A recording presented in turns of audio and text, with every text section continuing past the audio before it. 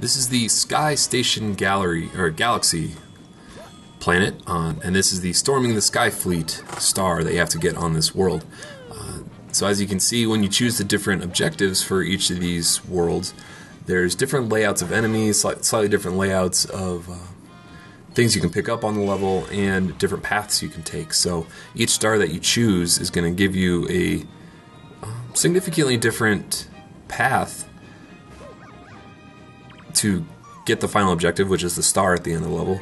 Um, unlike um, Mario 64, where you could get basically all the stars, like all six stars on one level, on practically the same layout. Sometimes you would have to choose a specific star to make like a certain character appear or a certain door to open, but uh, all the different stars have very different paths to go the paths to follow on uh, on this game, which I actually liked a lot. It, I mean, despite the fact that this is the exact same level as before, it's very different looking, very different uh, path. So um, this is the first side-scrolling part of the game so far, which is one of my favorite parts of the game. So avoid the electric balls going back and forth. If you want to get that one up, what you have to do is you jump on that platform and then hold, uh, I believe it's the Z button, the trigger on the on the uh, dongle, the attachment. I forget what it's called, and then that will crouch, and you can walk underneath that uh, that little ledge. So for these question mark blocks, don't overthink this too much. All you have to do is touch every one without touching it a second time.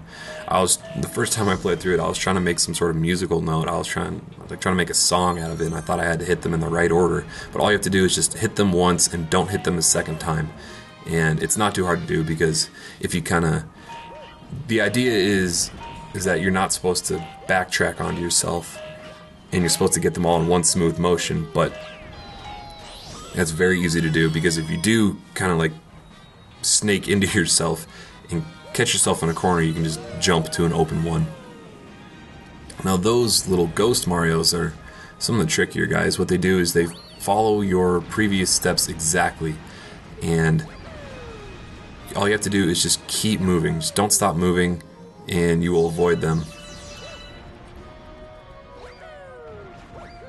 And avoid getting hit.